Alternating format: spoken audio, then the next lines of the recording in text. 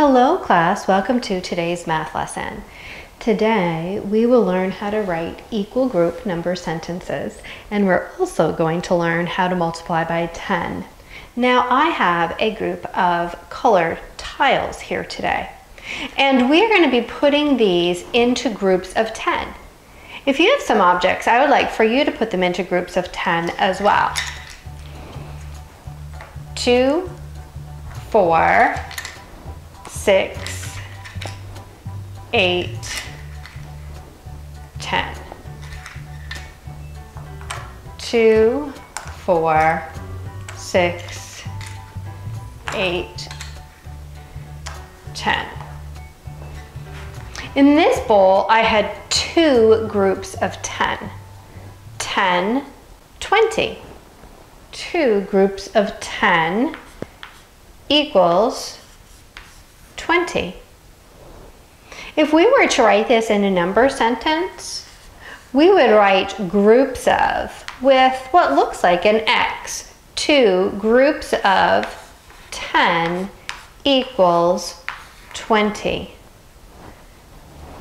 Hmm. Let's count out groups of 10 to see how many squares are in this bowl. We have five, I would like for you to count out groups of 10 objects as well and put them into little groups. Four groups of 10 equals 40. Do you remember the short way for writing groups of? I can say four groups of 10 equals 40. Our X is short for saying groups of. Sometimes we use the word multiply. 4 multiplied by 10 equals 40. Let's try this again with another number. Here we have another bowl of squares and we're going to count them out in groups of 10. I would like for you to count out groups of 10 objects as well and put them into little groups.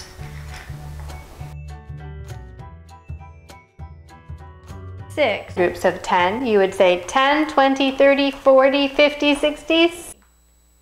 Six groups of 10 equals 60. Well, I can write this in a really short way by just saying 6 and then an X.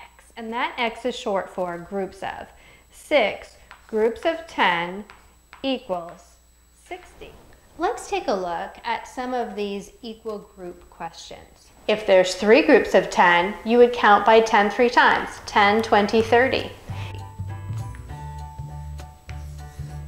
Another way that we could write this problem is we could write it vertically. We could write it this way. Three groups of 10 would be 30.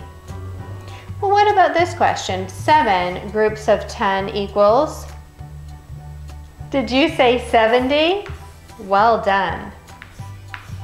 We could also write this vertically. Oops, I was about to write a 3, but I need a 7. Four groups of 10 equals 10, 20, 30, 40.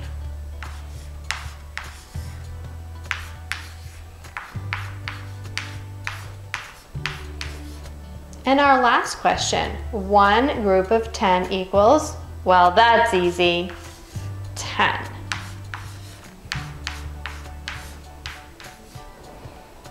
Today, I would love for you to practice multiplying groups of 10. You can put some little objects into groups of 10, just like we did with our squares, and then you can count the groups. If there's three groups of 10, you would count by 10 three times, 10, 20, 30. If you have seven groups of 10, you would say 10, 20, 30, 40, 50, 60, 70. Seven groups of 10. Oh class, I hope that you have a, wonderful day and that you have fun playing with math today. Bye-bye!